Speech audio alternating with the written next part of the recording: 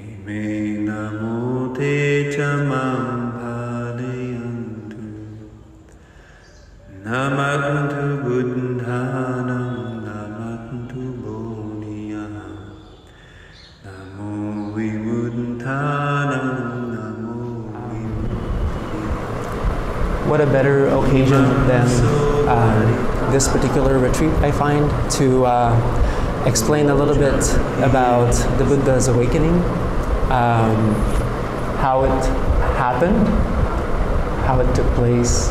Um, and first of all, I would like to ask permission to my seniors, Awasarai to, to give the first portion of this talk. It actually touches uh, on a few points that we discussed today, which will be, I think, will be really interesting to, to hear.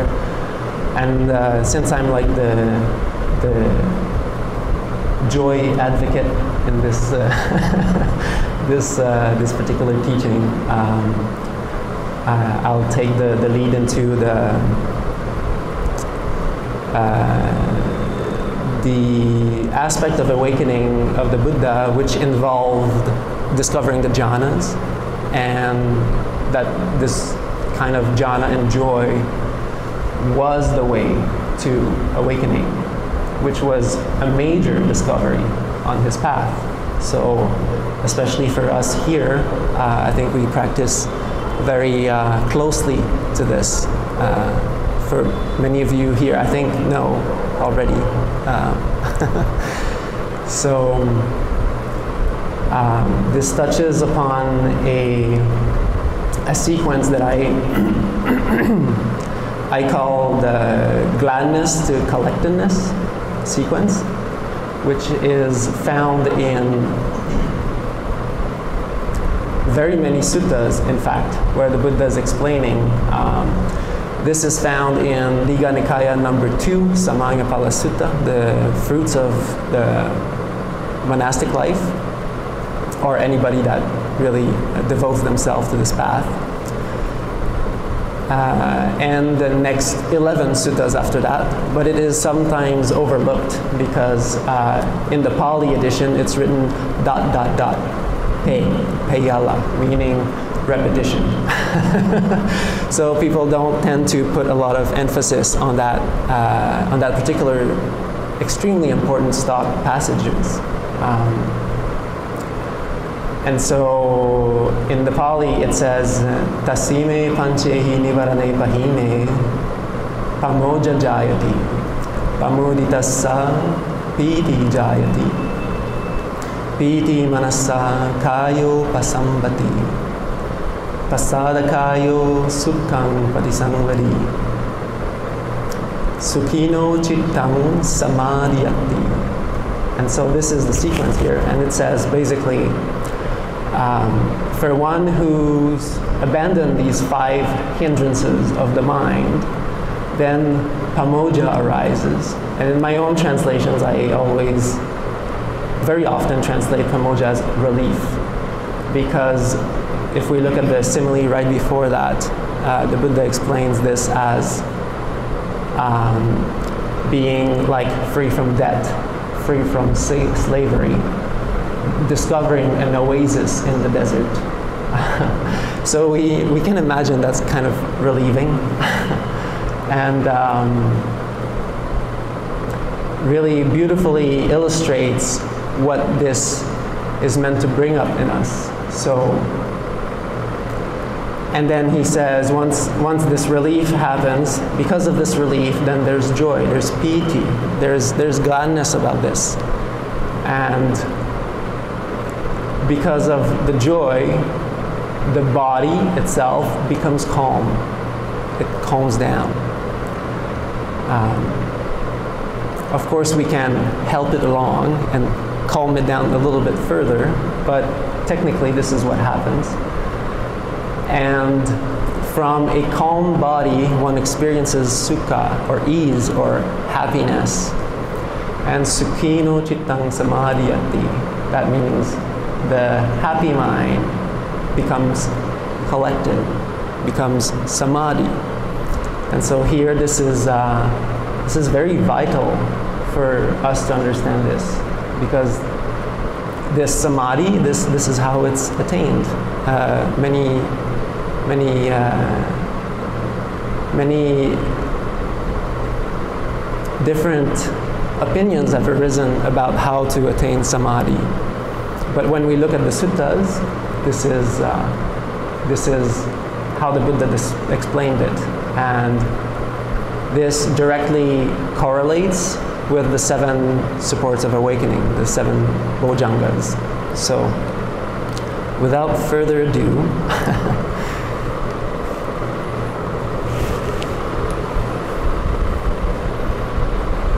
I usually cut the beginning of this because um, it's it's talking about this encounter with uh, Sachaka, basically, and Aggivessana, and they have a bit of like that that kind of debate.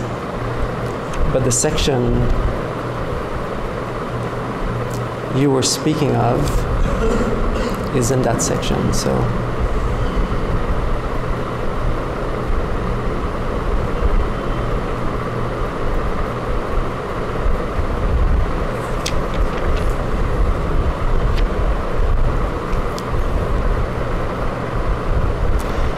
So basically, now the Buddha is encountering Sachaka. And Sachaka is a clever debater.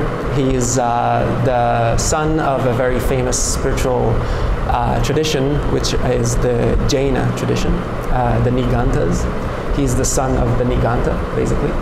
And he was very famous. He was known to crush everyone else's opinions with his mind.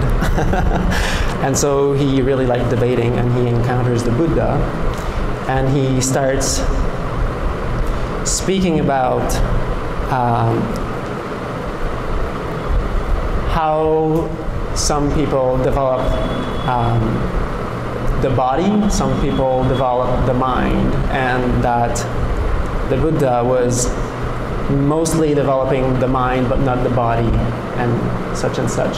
I'm not going to go into great details because it's not really the core of what we want to be speaking of tonight, but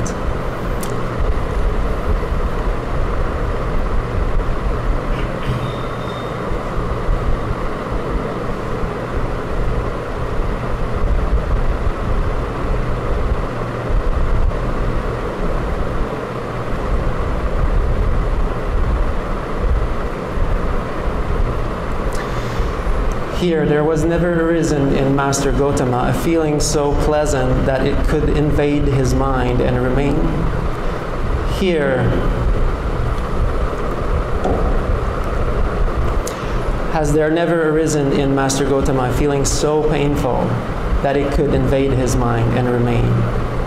Why not Aggivessana? Here, Aggivessana, before my enlightenment, while I was still only an unenlightened bodhisattva, I thought household life is crowded and dusty. Life gone forth is wide open.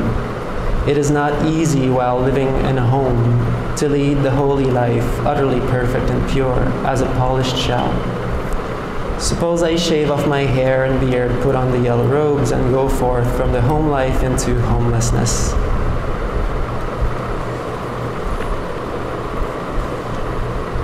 And here we just basically make it complete. It's two different suttas, which is the Noble Search and the Mahasachaka Sutta. So they're the two main discourses on awakening of the Buddha.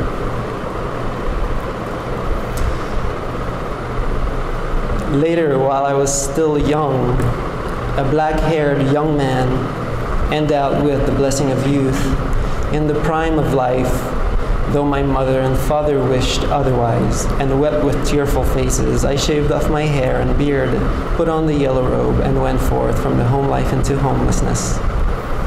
Having gone forth, bhikkhus, in search of what is wholesome, seeking the supreme state of sublime peace, I went to Alara Kalama and said to him, Friend Kalama, I want to, I want to lead the holy life in this Dhamma and discipline.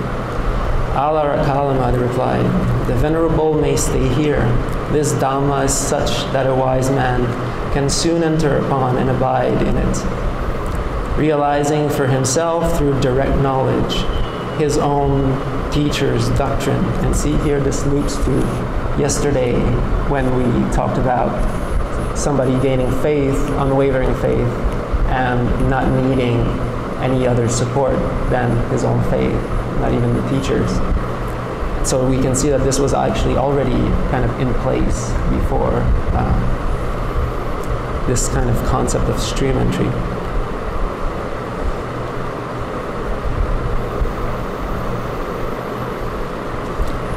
I soon quickly learned the Dhamma. As far as mere lip reciting and rehearsal, we would probably say theoretical understanding of his teaching of his teaching went. I could speak with knowledge and assurance, and I claimed, I know and see. And there were others who did likewise. I considered it is not through mere faith alone that Alara Kalama declares, by realizing for myself with direct knowledge, I enter upon and abide in this Dhamma. Certainly, Alara Kalama abides knowing and seeing this Dhamma.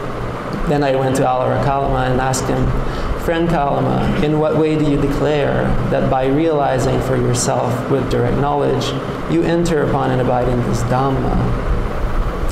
And here, uh, Dhamma means so many things. Uh, so we, we need to put a little bit of context here. And it, this particular context here probably means a state. This Dhamma is probably more like a state of particular meditation practice or understanding. So it's not just a teaching, but it's probably a state he's referring to. So how does he enters upon and abides in that state, basically?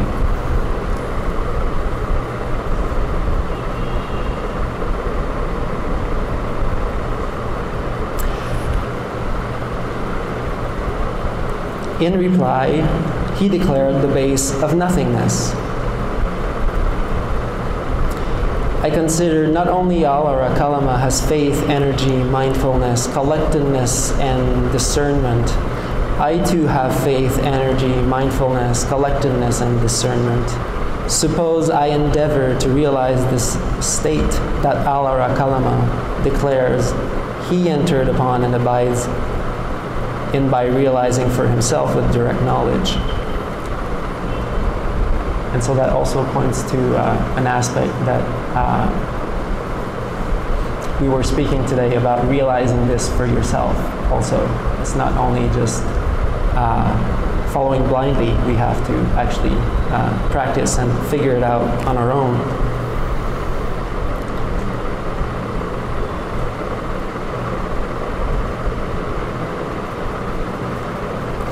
I soon quickly entered upon and, and abided in that Dhamma by realizing for myself with direct knowledge.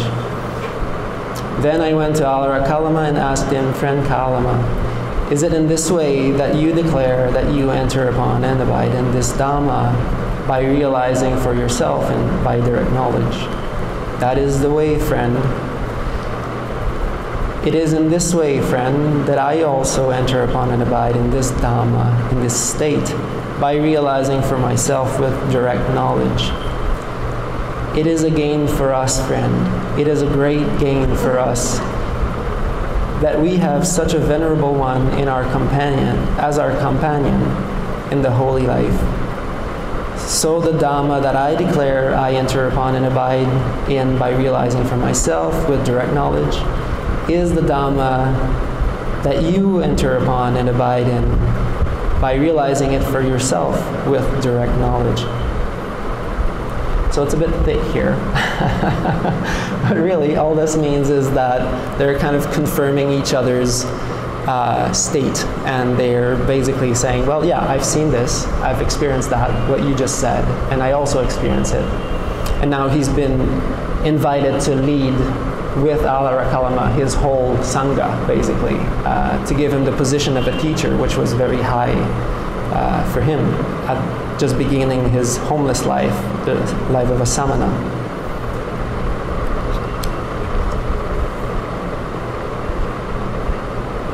Thus, Alarakalama, my teacher, placed me his pupil on an equal footing with himself and awarded me the highest honor.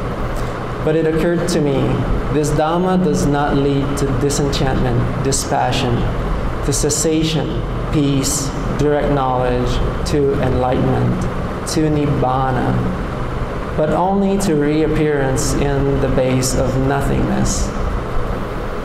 Not being satisfied with that Dhamma, disappointed with it, I left. And again, this touched upon uh, something that was discussed with quite a few people today um, on um, how deep this teaching is, how profound. Uh, you know, this, this is already quite profound here we're speaking about the base of nothingness and attaining this. And the Buddha right away noticed that, hey, this is not Nibbana. and there's, his intuition was amazing. It was just like, uh, I, I, don't even, I can't probably even imagine, uh, but his intuition was such that he, he knew that there was a deeper release from that. There was a, an actual, completely, utterly more uh, um, transcending uh, liberation. Because in, in this particular space, the plane of nothingness, there is still awareness. And um, in fact, we, we see this kind of teaching nowadays uh, being quite popular also when we talk about the self. Uh, being just this pure awareness self. You know, this is very common teaching. Uh, and I mean, I, I followed that for a while, so I know, I know what, what this is. Um, um, but it doesn't actually uh, bring to the full cessation of uh, dukkha and the Four Noble Truths and the cessation of consciousness, also independent origination. And this is very, very profound. We need a very sharp discernment to actually see that and the Buddha is just beginning and he's just saying, no, this is, there's something deeper than this. Still in search, bhikkhus, of what is wholesome, seeking the supreme state of sublime peace, very high ideals. I went to Dakaramaputta and said to him, Friend, I want to lead the holy life in this Dhamma and discipline.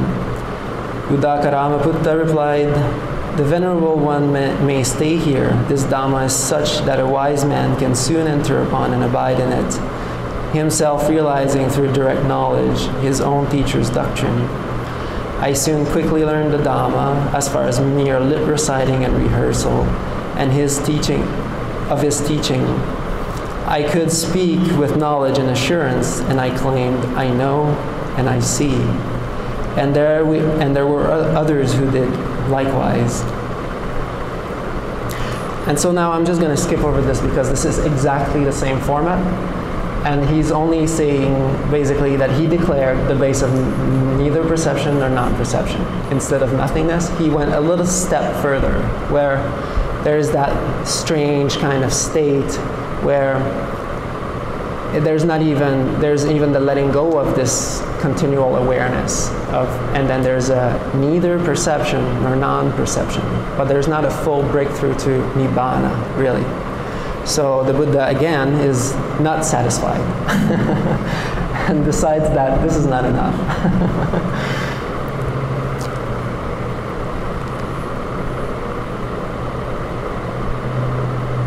Thus, Udakaramaputta, my companion in the holy life, placed me in the position of a teacher and accorded me the highest honor.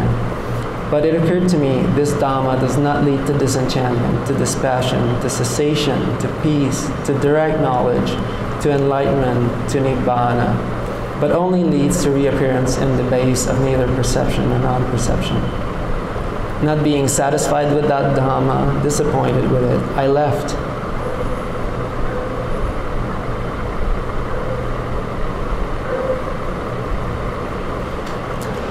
still in search, bhikkhus, of what is wholesome, seeking the supreme state of sublime peace.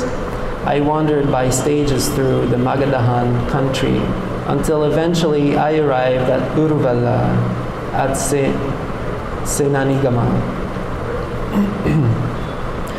there I saw an agreeable piece of ground, a delightful grove, with a clear flowing river with pleasant, smooth banks, and nearby a village for alms resort. I considered this is an agreeable piece of ground. This is a delightful grove with clear flowing river, with pleasant, smooth banks, and a nearby village for alms resort. This will serve for the striving of a clansman intent on striving. And I sat down there thinking, this will serve for striving. Um, this is the first uh, section that I find very inspiring because he was not just uh, looking for, uh, I guess, a, a, boring place to be in.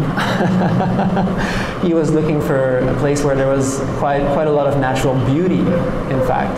And he was very inspired when he saw when he saw Bodh Gaya, which was not bearing that name at that time.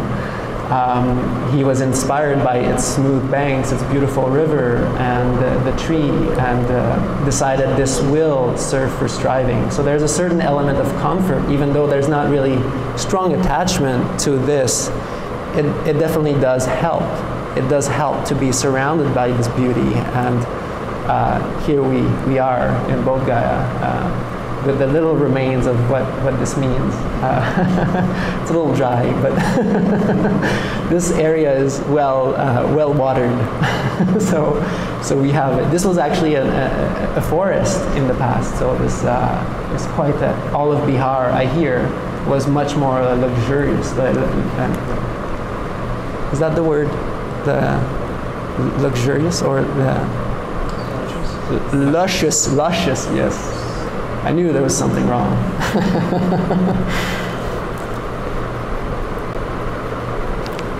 this will serve for striving. And so this, this reminds me of uh, where, where I live in uh, Sri Lanka. It's a very beautiful uh, forested area where uh, a lot of monks really do resonate with that also. And I know there's, there are many of us here actually that do resonate with this natural beauty and seeking this like beautiful silence of the forest and uh, finding it quite quite supporting for our practice actually very much.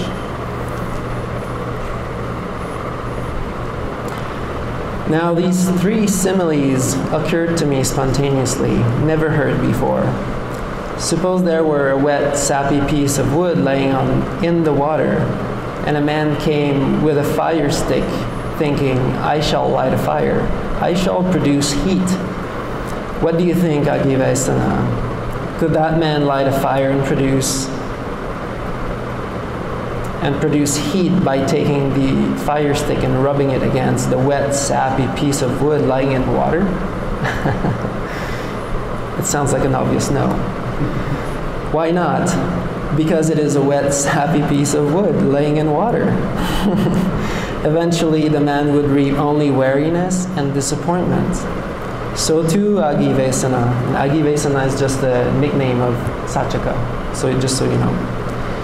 As to those recluses and Brahmins who still do not live bodily withdrawn from sensual pleasures, and whose sensual desire, affection, infatuation, thirst, fever for sensual pleasures has not been fully abandoned, let go of internally. Even if those good recluses feel pain racking, piercing feelings due to exertion, they are incapable of knowledge and vision and supreme awakening. So that's very interesting, just this statement here. Um, And we really see his, like, he's starting to draw the map of his own awakening here by determining where are the boundaries. Uh, and these sensual desires, we say sensual desires a lot, but it's it's just engaging the mind in so many things, and we're really good at that nowadays uh, with phones and technology. Uh, you know, it's not just like a craving for ice cream. It's also just engaging the mind all the time, engaging, engaging, engaging, and there's never any viveka, disengaging from it. So this is very important. Um, Again, Aggivessana, a second simile occurred to me, spontaneously, never heard before. Suppose there were a wet, sappy piece of wood laying on the dry land, far from water, and a man came with a fire stick thinking, I shall light a fire, I shall produce heat. What do you think, Aggivessana? Could that man light a fire and produce heat by taking a fire stick and rubbing it against a wet, sappy piece of wood but laying on dry land. No, Master Gotama, why not? Because it is a sappy, wet piece of wood. Even though it is laying on dry land far from water, eventually the man will reap only weariness and disappointment. So this is something that I did. I, I studied in uh, adventure tourism, so I, I studied how to guide people in the wilderness and climb mountains and go on canoe trips and things like that. So this is what I did in the past. Um, and uh, we had uh, these survival courses. And um, one of these things was uh, to learn to light a fire with two sticks. and so it, it's, it's actually a really hard thing to do. And you, you really need very dry wood to do this. It's completely impossible if you have any kind of wet or sappy wood. So I just love how the Buddha had actually this knowledge, like very earthy, down to earth, you know, like uh, India 2,600 years ago. Uh, as a prince, he would like learn all these things. Uh, how to like, when you're stuck in the jungle, what do you do? You just like light a fire and try to survive. And he probably had this, uh, uh, this kind of knowledge also. Um, before doing before doing all this. So he's think of this as he goes. So too Aggivessana, as to those recluses and Brahmins who live bodily withdrawn from sensual pleasures, but whose sensual desires, affection, infatuation, thirst, fever for sensual pleasures, constantly engaging their minds, has not been fully abandoned and let go internally even if those re good recluses and Brahmins feel painful, racking, piercing feelings due to exertion, they are incapable of knowledge and vision, supreme awakening. And even if those good recluses and Brahmins do not feel painful, piercing feeling due to exertion, they are incapable of knowledge and vision and supreme awakening. This was the second simile that occurred to me spontaneously, never heard before. And of course, here he's really uh, relating to this, uh, this Jain practice of basically uh, that karma needs to be purified through painful action, tapa, basically. And that's what uh, a lot of people signed for at this time was this idea that the purification of mind and karma came through the self mortification or self penance. Again, Aggivessana, a third simile occurred to me, spontaneously, never heard before. Suppose there were a dry, sapless piece of wood laying on dry land, far from water, and a man came with a fire stick, thinking, I shall light a fire and I shall produce heat. What do you think, Aggivessana? Could the man light a fire and produce heat by rubbing it against dry, sapless piece of wood laying on dry land, far from water? Yes, Master Gotama. Why so? Because it is a dry, sapless piece of wood laying on dry land far from water. So too Aggivessana, as to those recluses and Brahmins who live bodily withdrawn from sensual pleasures, and whose sensual desires, affection, engagement, thirst, fever, sensual, for sensual desires has not been has been fully abandoned and let go internally even if those good recluses and Brahmins feel piercing, painful feeling due to exertion, they are capable of knowledge and vision and supreme awakening. And even if these good recluses do not feel racking, piercing feelings due to exertion, they are still capable of knowledge and vision, supreme awakening. This was the third simile that occurred to me spontaneously, never heard before. These are the three similes that occurred to me.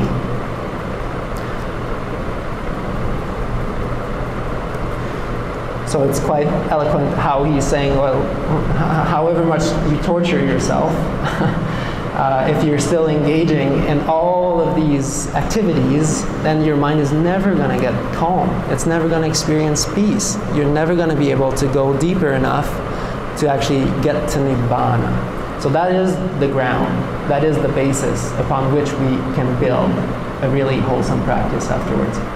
So it's not about just lust and craving and all these things. It's actually about constantly engaging the mind in many things of the senses.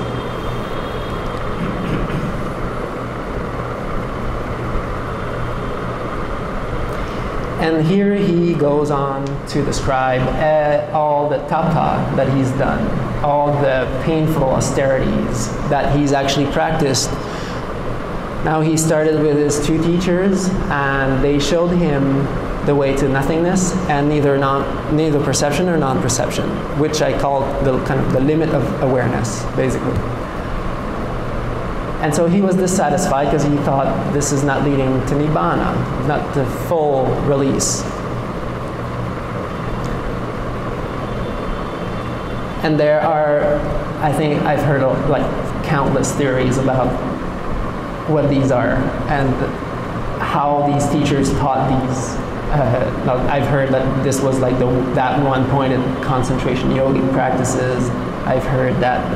Um, personally, I think that when he talks about mere lip reciting and theories and things like that, I, I hear a lot of um, uh, of teacher nowadays uh, that talk about non-dualism and all these things, and they say very, very similar things to that, where you just sit in satsang basically, and through listening to always what the teacher would say, you would continually kind of get that state basically, where there's just that pure awareness kind of thing. Um, that's my personal understanding of it. It could be anything, but we honestly, we don't have the proof for any of that, so uh, we'll just leave it as pure imagination for them.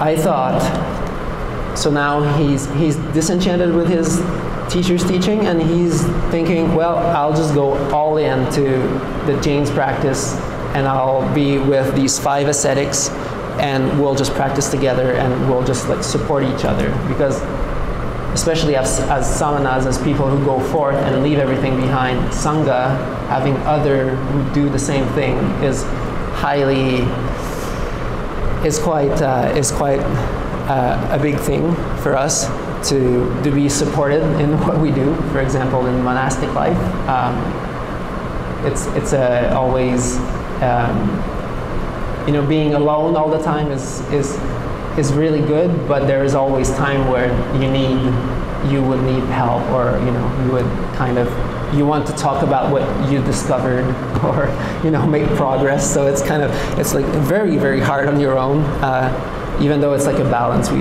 try to strike. So now he's going into all these austerities. Suppose with my teeth clenched and my tongue pressed against the roof of my mouth, I beat down, constrain, and crush mind with mind. So, with my teeth clenched and my tongue pressed against the roof of my mouth, I beat down, constrained, and crushed mind with mind. While I did, I did so, sweat ran from my armpits, just as a strong man might seize a weaker man by the head or shoulders and beat him down. That's a little violent. constrain him and crush him. So too, with my teeth clenched and my tongue pressed on the roof of my mouth, I beat down, constrained, crushed, and crushed mine with mine, and sweat ran from my armpits. But although tireless energy was aroused in me and unremitting mindfulness was established, really forcing this, my body was overwrought and uncalm because I was exhausted by the painful striving. But such painful feeling that arose in me did not invade my mind and remain.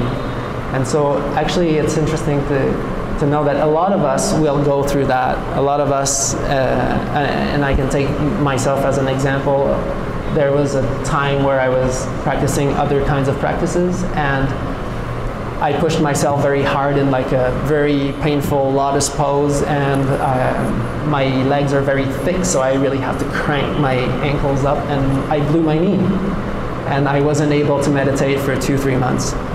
And, and through that, through all the pain, and I realized, well, that's kind of pointless. I mean, if I'm going to do that and wreck my body, then what's the point?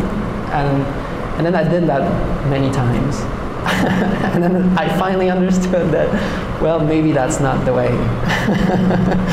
so I, I, like that the Buddha is actually, he's not the only one, and I've heard many, many, many stories of people injuring themselves and like pushing their practice so far and they had to back off and thinking, Ajahn Viradhammo is also another monk who's talking a lot about this, uh, how he was like, you know, so many years he's tried to push meditation, push meditation, push meditation to the point of hurting and that's after so many years, you just you just know like no, no, I'm not doing this anymore. Like this is not the way, you know.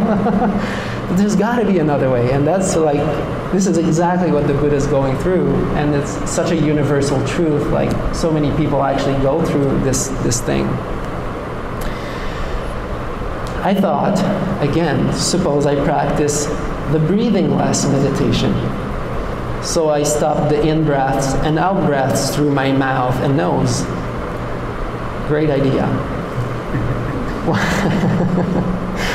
While I did so, there was a loud sound of wind coming out from my ear holes.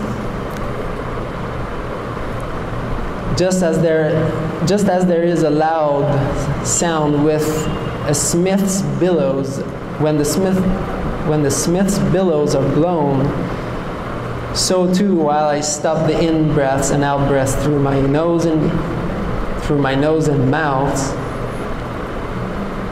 there was a loud sound of wind coming out from my ear holes.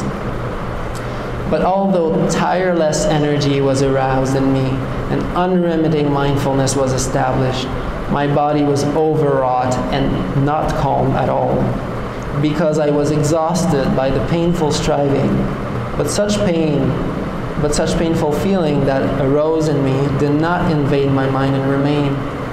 The Buddha was also asked at one point if um, any uh, if his mind was invaded by the hindrance uh, at any point in his career, and he said, ever since I took the robes, I think that's what he says. Everything I when Pabbajja, ever since he left everything, his mind was so determined that he was just in this uh, very uh, powerful uh, uh direction. And, and sometimes uh, when, when Pabbajja is done properly, when the going forth is done properly with the really good intention, very genuine intention, people really do notice this, that it's a very big commitment and a lot of the baggage that was before doing this is actually left behind. Um, so that's just, I guess, an interesting parenthesis on the power of this kind of determination and. Uh,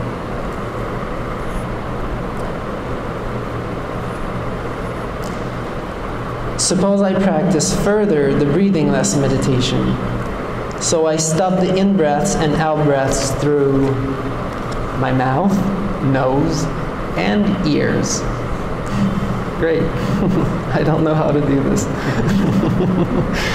While I did so, violent winds cut through my head, just as a strong man were to crush my head with the tip of a sharp sword, so too, while I stopped the in breaths and out breaths through my mouth, nose, and ears, violent winds cut through my head.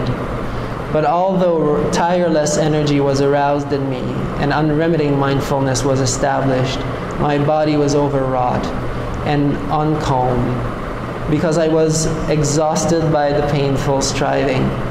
But such painful striving, such painful feeling that arose in me did not invade my mind and remain. So he was just pushing his body so much, even though his mind was so strong and determined. Uh, it didn't invade his mind, but he couldn't actually, even though he was the Buddha and he had all the 32 characteristics of a great man, and he was basically like described as a superhero almost, like the way he's described, like the torso of a lion and like the legs of an antelope. You know, that's pretty intense. And even pushing his perfect body to the limit, he he realized like I can't do this. Like there's no way I can break through like this. So this is really interesting. I suppose suppose I practice further the breathing less meditation. So I stop the in breaths and out breaths through my nose, mouth, and ears. And while I did so, violent, violent winds carved up my belly, just like a skilled butcher's knife or his apprentice were to carve up an ox's belly with a sharp butcher's knife, so too while I stop the in breaths and out breaths through my mouth, nose, and ears, violent winds carved up my belly. But although tireless energy was aroused in me and unremitting mindfulness was established, my body was overwrought and uncalm because I was exhausted by the painful striving. But such, such painful feeling that arose in me did not invade my mind and remain. I thought, suppose I practice further the breathing less meditation. So I stopped the in breaths and out breaths through my mouth, nose, and ears. While I did so, there was violent burning in my body, just as if two strong men were to seize a weaker man by both arms and roast him over a pit of coals. So too, while I stopped the in breaths and out breaths through my mouth, nose, and ears, there were violent burning in my body. But although tireless energy was arose in me and unremitting mindfulness was established, my body was overwrought and uncalm because I was exhausted by the painful striving. Though such painful feeling that arose in me did not invade my mind and remain. Now, when the deities, the devas, saw me, some said, the recluse Gotama is dead. Other deities said the recluse Gotama is not dead, he is dying. Other deities said the, Go- the recluse Gotama is not dead nor dying, he is an arahant, for such is the way arahants abide. um, I thought, suppose I practice entirely I don't know if you've seen those uh, sculptures of the Buddha at that point uh, in Sri Lanka, very uh, quite striking. if you've uh, ever seen this, where uh, he's uh, sitting with basically he's basically looking like a skeleton with some kind of film on him, and his veins are jutting out, and he's not looking very happy. eyes sunken in the sockets and everything. So.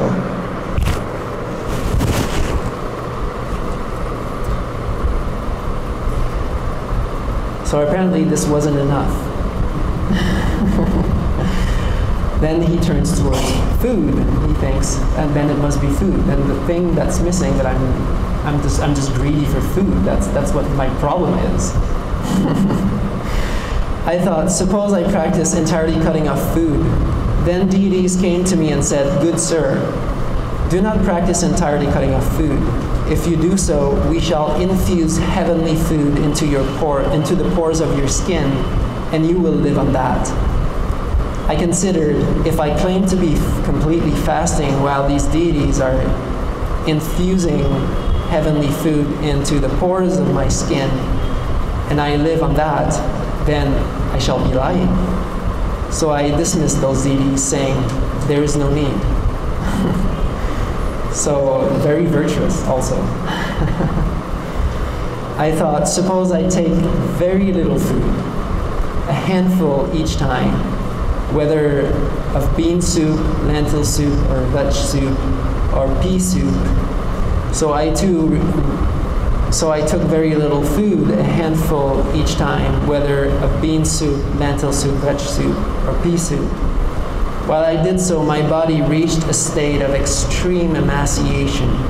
Because of eating so little, my limbs became like jointed segments of vines or bamboo stems. Because of eating so little, my back, my backside became like a camel's hoof. Because of eating so little, the projections on my spine stood forth like corded beads, like a mala the spine.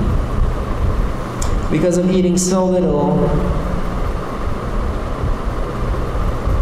my ribs jutted out as gaunt as crazy rafters on, a, on an old roofless barn.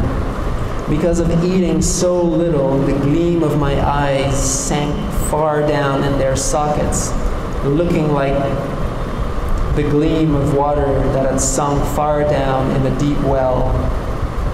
Because of eating so little, my scalp shriveled and withered as a green bitter. A green bitter gourd shrivels and withers in the wind and sun.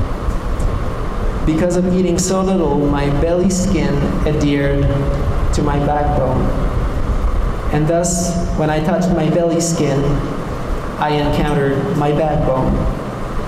And if I touched my backbone, I encountered my belly skin. Because of eating so little, if I defecated or urinated, I fell over on my face right there. Because of eating so little, I tried to ease my body by rubbing my limbs with my hands, and the hair, rotted at the, at the root, fell from my body as I rubbed. So that's. Uh, not looking really nice. now, when people saw me, some said the recluse Gotama is black. Other people said the recluse Gotama is not black, he's brown. Other people said the recluse Gotama is neither black nor brown, he is golden skinned, because this used to be his actual color of skin. So much had the clear, bright color on my skin deteriorated through eating so little. And then his, his realization. I thought, whatever recluses and Brahmins in the past have experienced painful, racking, piercing feelings due to exertion, tapas, this is the utmost. There is none beyond this and whatever recluses and Brahmins in the future will experience painful, racking, piercing feelings due to exertion. This is the utmost. There is none beyond this. And whatever recluses in the present experience feel painful, racking, piercing feelings due to exertion. This is the utmost. There is none beyond this.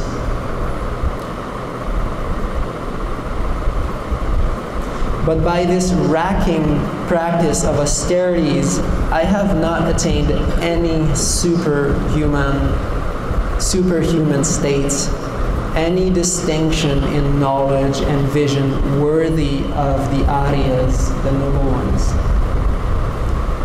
Could there be another path to awakening? So, for those who have been through uh, some of these practices, uh, I think this is a bit what the, the general understanding afterwards come. Um,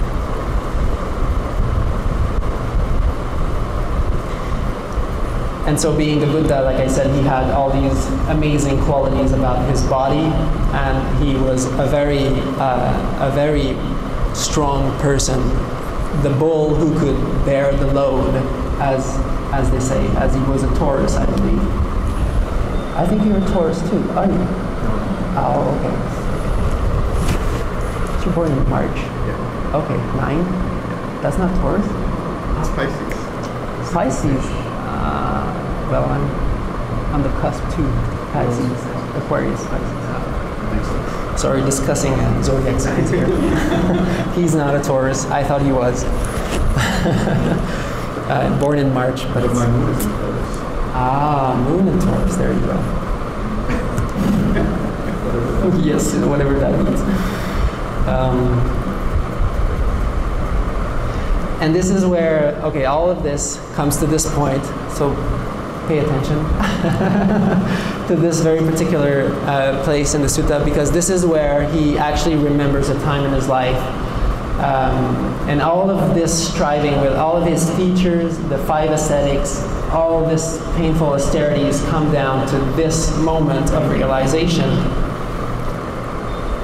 I considered, I recall that when my father, the Sakyan, was occupied while I was sitting in the cool shade of a rose apple tree, quite secluded from sensual pleasures, secluded from unwholesome states, I entered upon and abided in the first jhana, which is accompanied by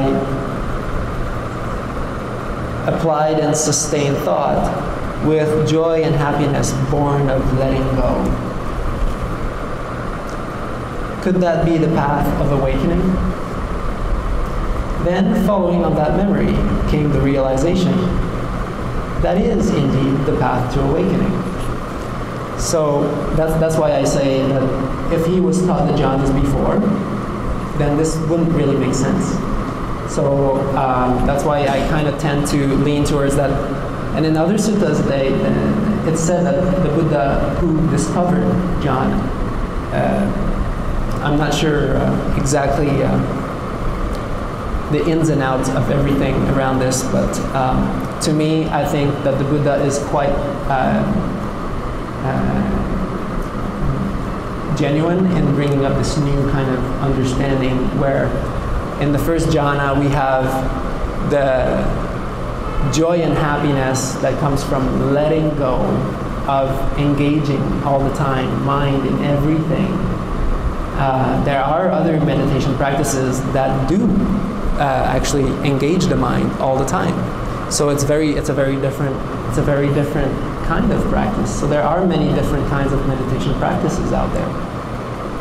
But this one is really when all the hindrances, we let go of them, we detach, viveka, um, vivicceva kamehi, dhammehi. So all unwholesome states, we let go, we detach from that, we disengage, and all sensory engagement, we basically let that go, release, relax. In TWIM terms, we would say six R's, but this is also this is also universal in the suttas. Basically, we just the six R's are the Anapanasati Sutta principles, and they're just organized in a way that it's really easy to understand. That's, that's it. That's, that's really what it comes down to. Um, and so he remembered when he was a child with very few worries on his mind. His father is plowing the king, the, the is plowing the field, the king is plowing the field, and that's like a, a, a festival, it's a happy time in his village.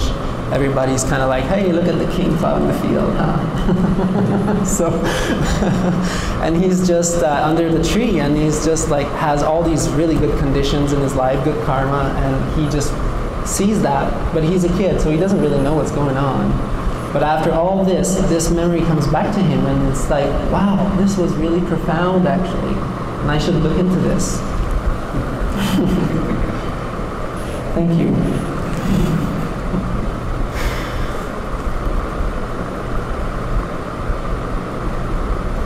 And this is also a part that I quite uh, affection quite a bit too.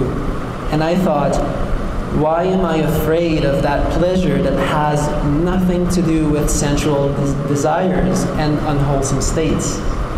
Why am I afraid of this? Like, there's nothing wrong with this. There's, it's a pleasure to be enjoyed. Like, why can somebody find like something to blame about this? He's just sitting there, blissing out. All right, great. I, I, don't, I don't, I don't think there's something more wholesome. Um, so I thought, well, I am not afraid of that pleasure since it has nothing to do with sensual pleasures and unwholesome states. I considered it is not easy to attain that pleasure with a body so excessively emaciated. Suppose I ate some solid food and some boiled rice and porridge, and I ate some solid food and some boiled rice and porridge. Now, at that time, five, five bhikkhus were waiting upon me. They're called bhikkhus even though the, the sasana wasn't started yet, but uh, that's another interesting, interesting information that it was still, it was present at that time. We didn't. Uh,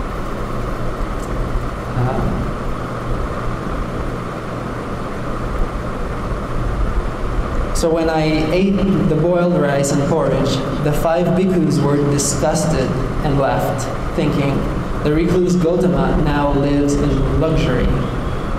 He, is, he has given up his striving and reverted to luxury. So that's a pretty hard blow. Uh, I mean, he wasn't breathing nor eating, and then he just found this amazing path, and he just thought, well, I, I kind of need to eat because it's really like I don't feel good right now. so it's like it's going to be really hard. And that's actually why we tell people to sit in chairs um, for the longer sits because if you experience too much pain by pushing a sitting practice and your knees really hurt, it's going to be really hard for you to discover the depth, the real depth of letting go to that to that depth of of what he, he discovered too.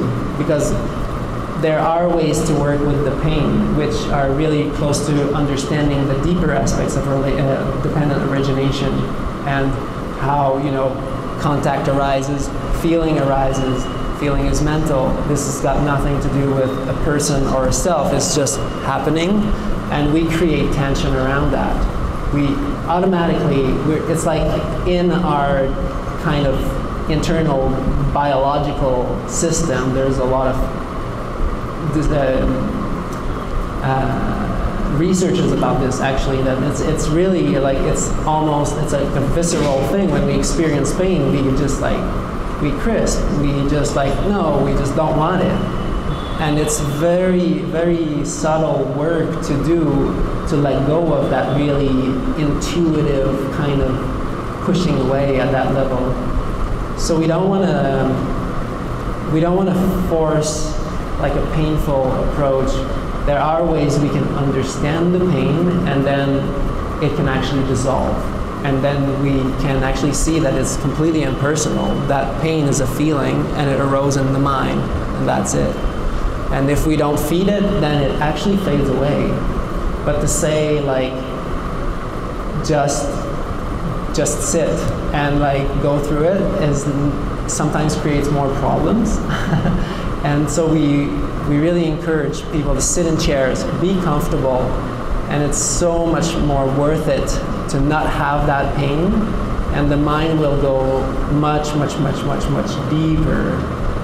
Sitting for four hours becomes something that is in the realm of the possible. Whereas for me if you ask me even to sit for four hours cross-legged, I'm, I know it's going to be really painful. So, but in a chair, it's manageable and it's enough to actually see and break through.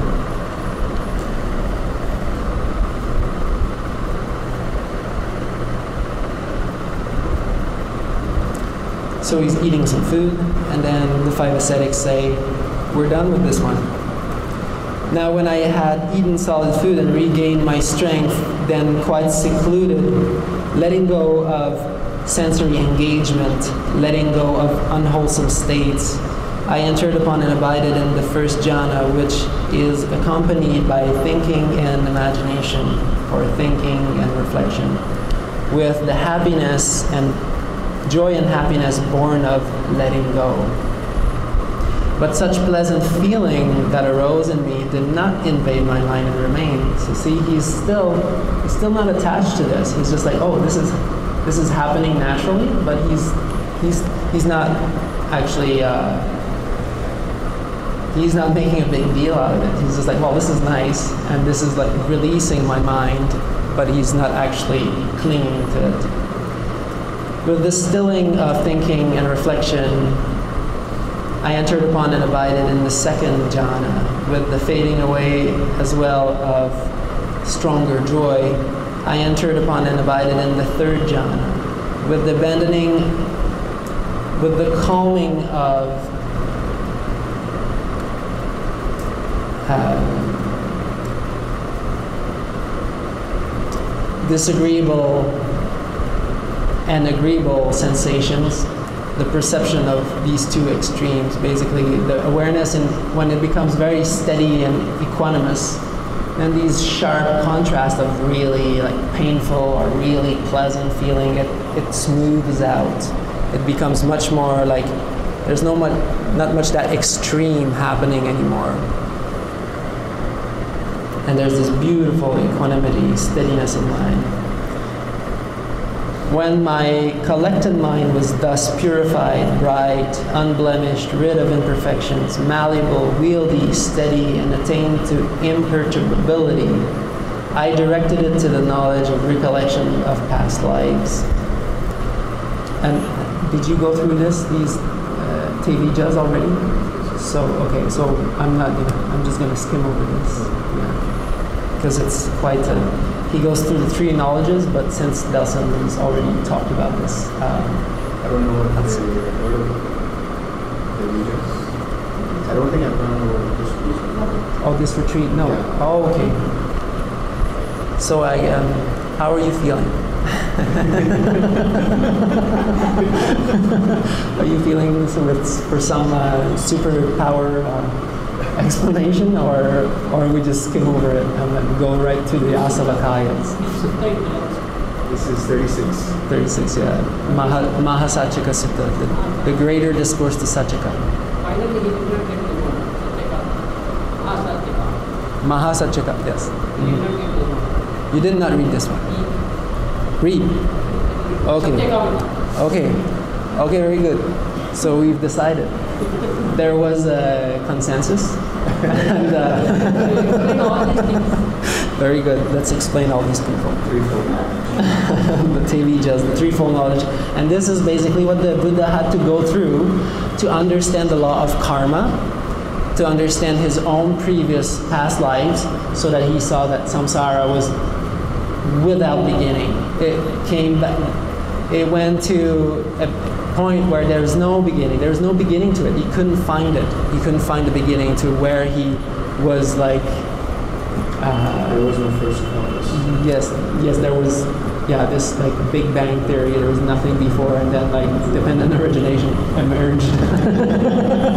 so, so, uh, so he he saw that there's there, he saw all of his past life, and this this is obviously coming with quite a bit of, you know. Uh, uh, detachment, I would say, when you see yourself, you know, being born, having a particular kind of set of karma that's pushing you into that birth, and then seeing that you, you get these causes and conditions because of your previous karma, and then you die, and then, you know, you're reborn again because of certain causes and conditions. You whether you're in the Deva realm or you're in the uh, Nirayas or in the, in the hell realms, uh, it doesn't matter. It's the same law of karma.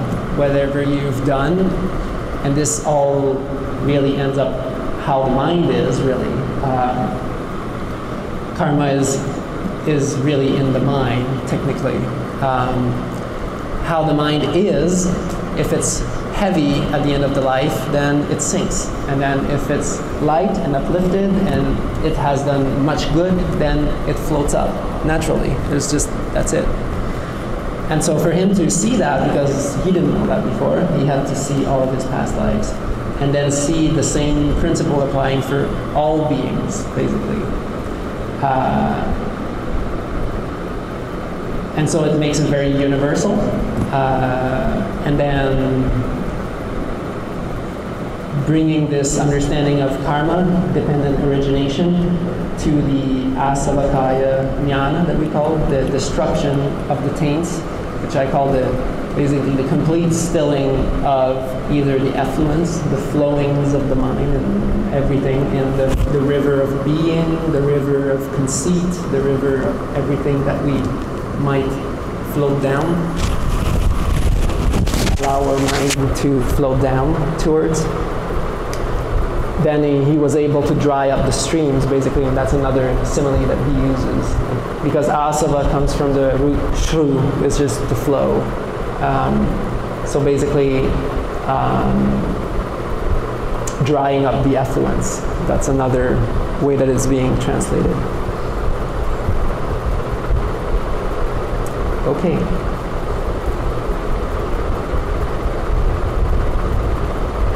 I recollected my manifold past lives. That is one birth, two, one birth, two births, three births. Oh, actually, it's um, it's ellipsed. Uh, yep. So I would have to go to another.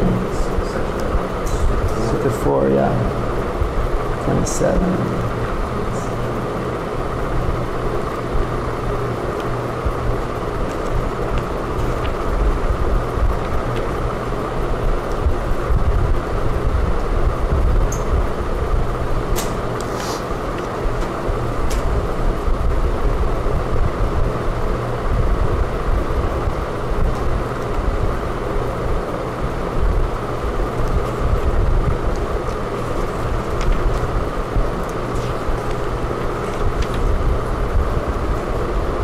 When my collected mind was thus purified, bright, unblemished, rid of imperfections, malleable, wieldy, steady, and attained to imperturbability, I directed it to the knowledge and recollection of past lives.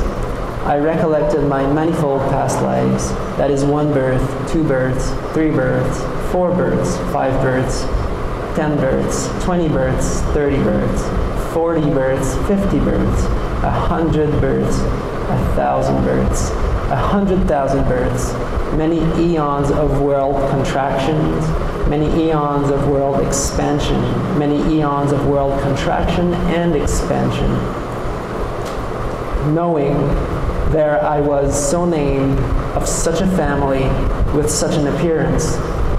Such was my nutriment, such was my experience of pleasure and pain, such my life term, and passing away from there, I reappeared elsewhere, and there too I was named, I was so named, of such a family with such an appearance, such was my nutriment, such my existence of such my experience of pleasure and pain, such my life term, and passing away from there, I reappeared here.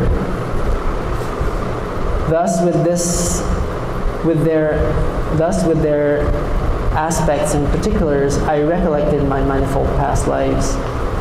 This was the first true knowledge attained by me in the first watch of the night. Ignorance was banished, and true knowledge arose.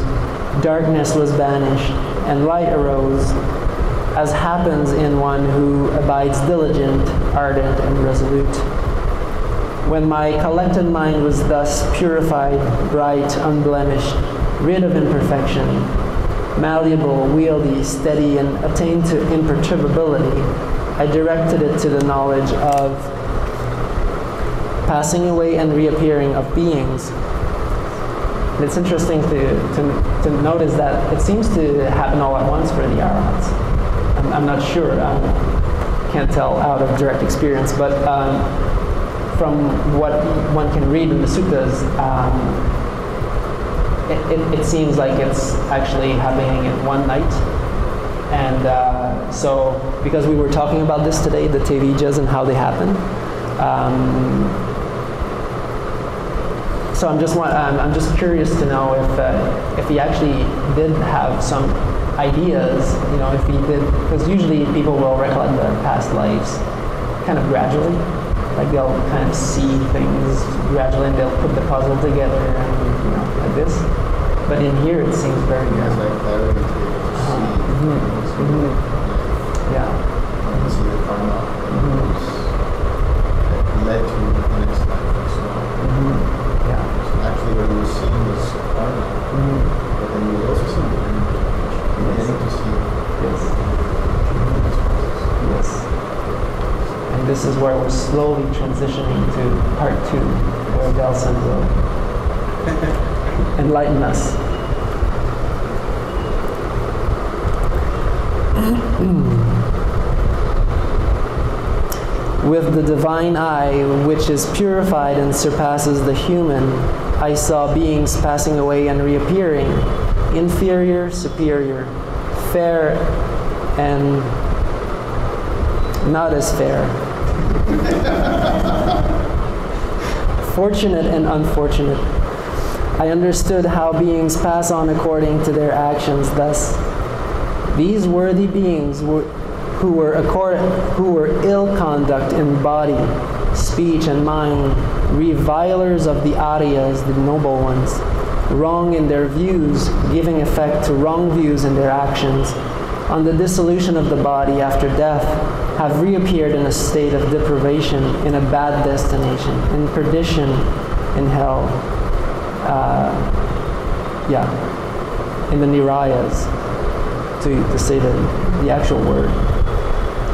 But these worthy beings who were well conducted in body, speech, and mind, not revilers of the Aryas, with right views, giving effect to these right views in their actions, on the dissolution of the body after death, having reappeared, have reappeared in the good destination, even in the heavenly world.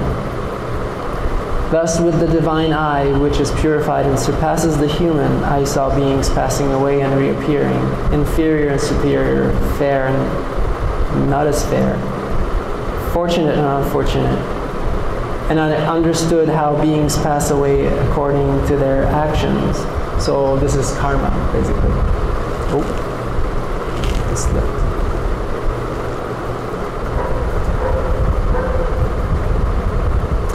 And now, the, usually, what, what I usually do in, in, in regular talks of mine, this is this is Bodh Gaya. You know, this is like Bodh Gaya edit. but uh, I, I would usually skip over the Tevijas, well, the, the two Vijas, the two first, and I go right to the Asavakaya, the, the, the drying up of the defilements, because it's actually something that we we ourselves can also do in our practice. Like basically, that's what we're doing.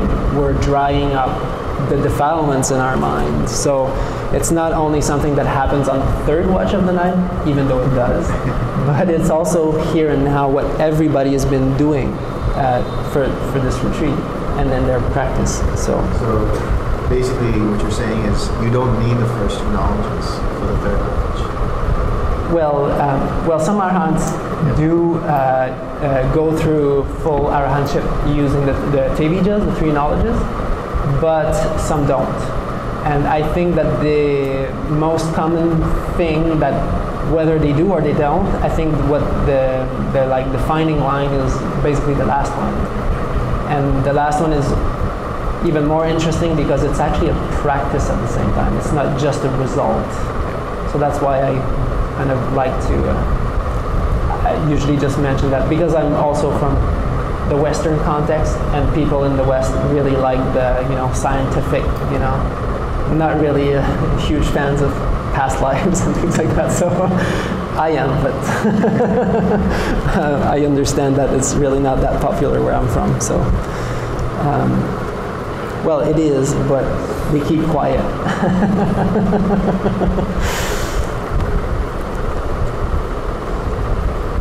When my collected mind was thus purified, bright, unblemished, rid of imperfections, malleable, wieldy, steady, and attained to imperturbability, I directed it to knowledge of the destruction of the taints, the complete stilling of the effluence, the defilements of the mind.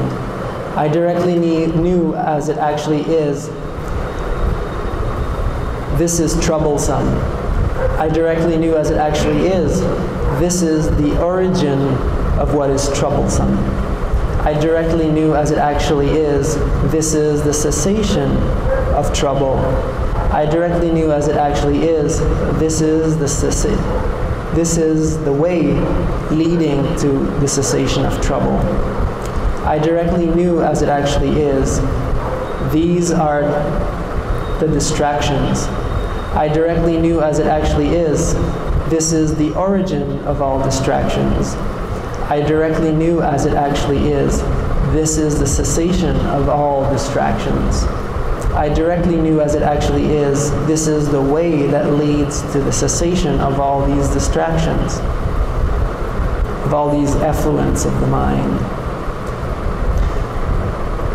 When I knew and saw thus, my mind was liberated from the tendency of sensual desires, from the tendency of beingness, and from the te- tendency of lacking awareness or ignorance. I'm kind of doing a little bit of a remix here because uh, this is usually what I use uh, in my own translations, uh, but they're not available to me right now. So uh, I directly knew birth is destroyed, the holy life has been lived, what had been done has been done, what had to be done has been done. There is no more coming to any state of being. In the West, when I say that, it's, it's, it sounds pretty terrible. the destruction of birth, uh, people don't really like it. But uh, so I usually say um, something a little bit softer, um, which is more like uh,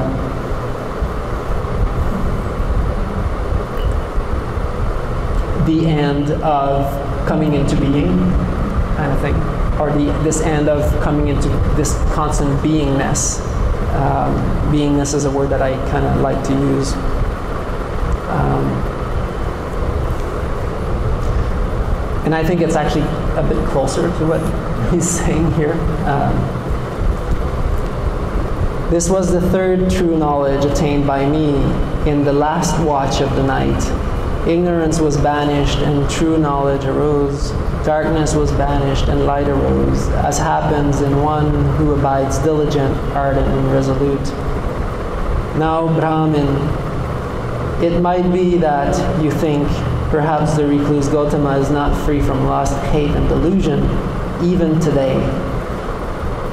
Which is why he still resorts to remote jungle thickets, resting places in the forest. But you should not think thus.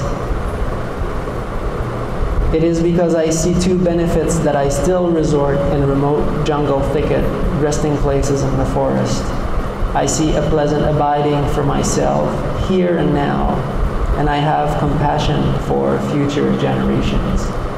And so that's why, uh, that's why the way we behave also is very important, uh, because the Buddha is saying he has compassion for future generations. That's also what Kassapa said, Mahakassapa Bhante. Uh, when he was asked, well, you're you're like a full arahant, uh, you're probably the the eldest leading member of the sangha when the Buddha passed, and why do you still go spend so much time.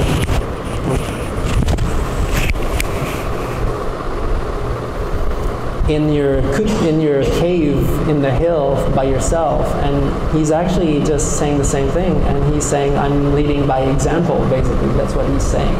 Because if people see me just walking around just like woo it's like it's got nothing to do with anything. And uh, then they just think that that's how you become awakened that's how that's what it means to be awakened so it's um, and i see this beauty in, in the sangha and in the in the way that uh, this is being preserved through the ages, and which is uh, such a wonderful gift to us all. Um, indeed, it is because Master Gotama is an, is an accomplished one, a fully enlightened one, that he has compassion for future generations. Magnificent Master Gotama, magnificent Master Gotama. Master Gotama has made the Dhamma clear in many ways, as though he were turning upright what had been overthrown, revealing what was hidden, showing the way to one who was lost, or holding up a lamp in the dark for those with eyesight to see forms. I go to Master Gotama for refuge and to the Dhamma and the Bhikkhu Sangha. From today, let Master Gotama remember me as a lay follower who has gone to him for refuge for life. And this is how the sutta ends. ends.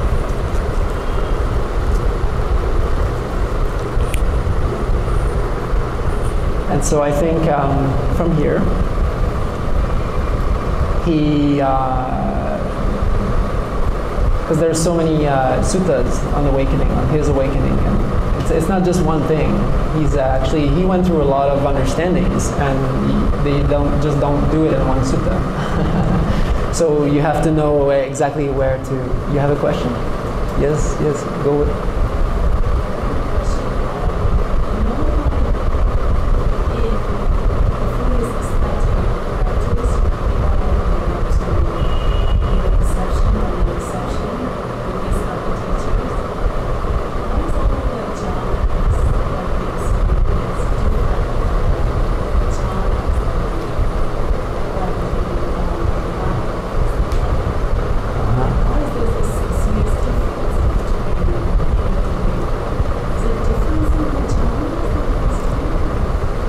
So yeah, uh, that, that's uh, that's exactly what I was trying to explain be, uh, before uh, in that section was that we don't actually have the real basis. Like what did, what do they mean by he attained the base of the plane of nothingness? Because they don't actually say that it was through the jhanas. They, they talk about mere lip reciting and rehearsal, theoretical understanding of whatever teaching that was, but they never speak of any jhanas per se. So some people advance that that was jhana and that was like absorption jhana. Personally, I've heard probably a dozen different versions uh, that people think that's what it was and but the reality of it is they only say the plane of nothingness and they don't say how they got there. And then the next one is the same the plane of neither perception or non-perception. We don't actually know what his teaching was how did he get there? And he he only says now you know what rama knew which is also really interesting. So um, uh, basically for me, from what I understand, because I, I practiced quite a bit of Hinduism and yoga, and I've studied the Yoga Sutras of Patanjali, and the Bhagavad Gita was my Bible for a while, and so, you know, I, I've kind of had this also the dip in that kind of world vision or understanding, and I think that there are teachings that actually do point out to that, but in a very different way, not through the jhanas and it's like the Brahma Viharas. The Brahma Viharas, the Buddha didn't make that up. It was already there because Brahma was known to abide in these only in these four states: metta, karuna, mudita, upekkha. That's all. And so that's that's known to be how Brahma, in the West, I guess we would say God, but uh, abides. And this was such a profound understanding at that time that he kind of took this because it was extremely wholesome and it's also you know the way to brahma he taught brahmins how how to actually become in union with brahma so he's not actually it's not that far you know when we talk about the buddha's teaching there's so many things that are very very close and i think that's another thing that uh, he even talks about the Gayatri mantra uh, in, in, one of the suttas. You know, in, in, of all the hymns, the, the, the, the Gayatri is the highest. So he's very close to the Vedas all the time. He knows all of that. So it's, um, to me, I just feel like, because if you know the Vedas, if you know the Upanishads, and you know that there, there, there's not really any mention of, first of Samadhi, there's not really mention of jhana, except actually in the Gayatri Mantra, which uh, Ajahn um, what's his name? No, uh, the one who made the, the one who has the website, SuttaCentral. Sujato. Sujato, yes. Ajahn Sujato actually has uh, really good things to say about that. Uh, that the root dhi that is found in the Gayatri mantra. Um, what's the Gayatri mantra? I forgot. yeah. Dhimahi, Dhimahi, Dhiyam. Very good, very good. Yes, so it comes back twice in the Gayatri mantra. And so it, some people think that he actually got that from there because the word jhana doesn't, it comes from dhi, really. It comes from that same word dhyana in Sanskrit.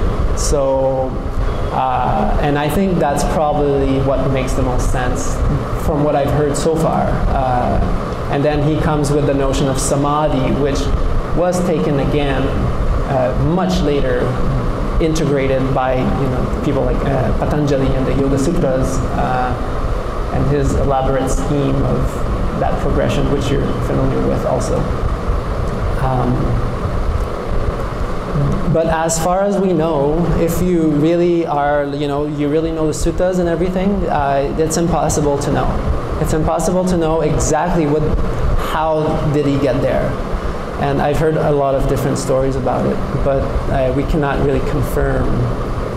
And since uh, in other suttas they tend to say that the Buddha actually awoke to jhana, which is um, about, can you corroborate this? Uh, I think it's one or two suttas where the, it's said that the Buddha, he who awoke to jhana, who, he who discovered jhana. No, I would have to. I would have to do some research again. But anyhow, so that's very good.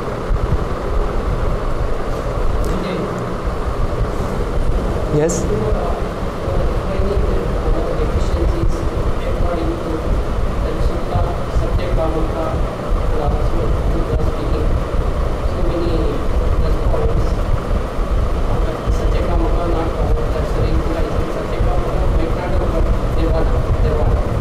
Yes. Uh huh. Uh-huh. uh-huh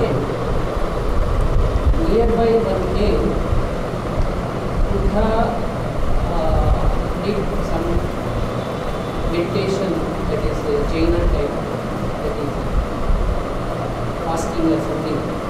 And the. There it was narrated in black, brown, all those things were given. What happened to suttas explaining 32 signs or uh, 16 signs of Buddha? That was not uh, spoken at all in this particular sutta. Because he was a skeleton because of practicing asceticism. and by afterwards, before it's given or something was told in the sutta. The great signs of Buddha, 16 or 32 are there. 32 good and Ah, one 32. No. They were not spoken at all. He was only black, brown, like that. They spoke. Ah. and he was reduced to a skeleton like that. It was narrated. There is another sutta that mentions the. Great science with okay. Yeah. there is Oh, another yes. sutta. Here it is not coming. Such a Buddha, Buddha having so many signs. How come that asceticism had made him to a skeleton stage? Because he just uh, he used all of his like a man, like any layman, he did yeah uh huh. Uh-huh.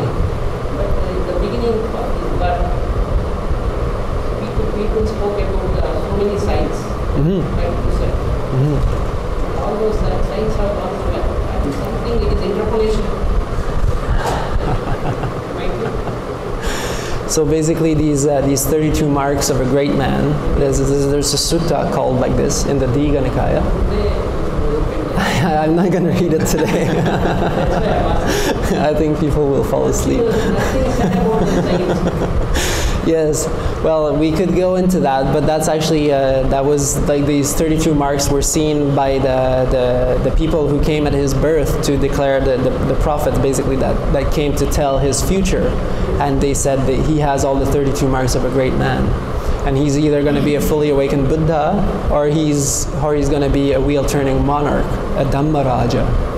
So. Um, and then, of course, uh, his father, the king, wanted him to be a, a king. Uh, so, um, but these 32 great marks, you know, they, they were something that they were like uh, very well known at that time. You know, it was really like a, if you look for someone really, really good, then you look for that. And he just happened to have them all. and quite curious ones also, uh, just mentioning.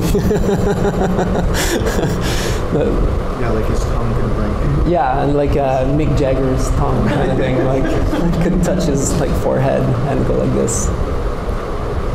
Um, sounds like a interesting thing.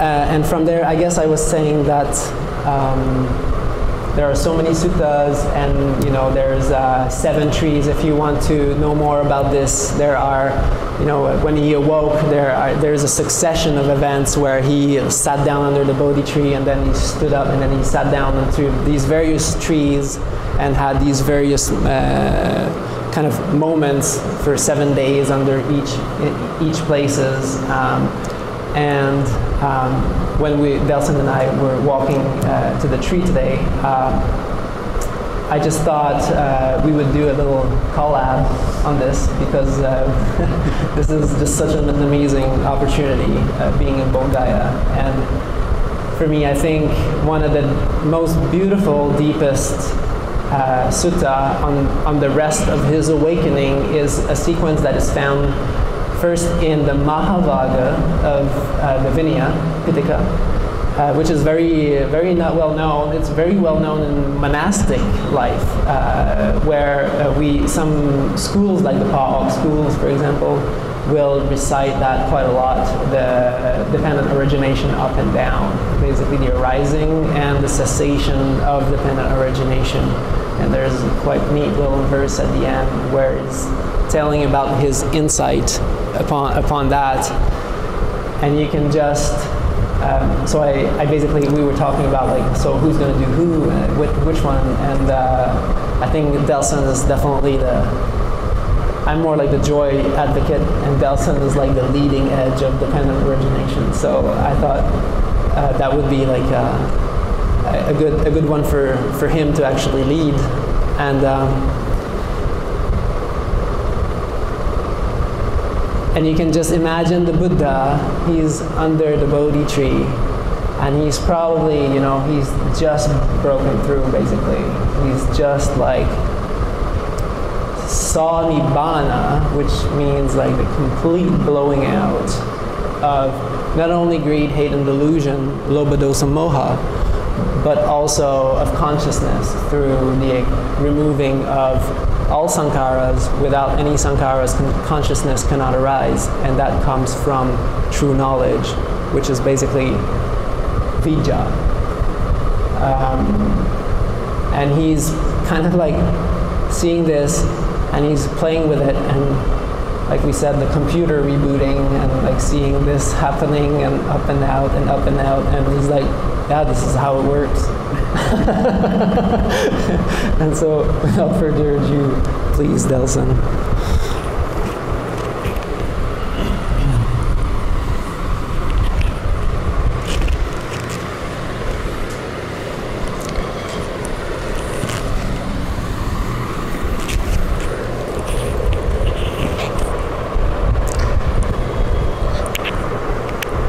Does anybody want to take a quick bathroom break?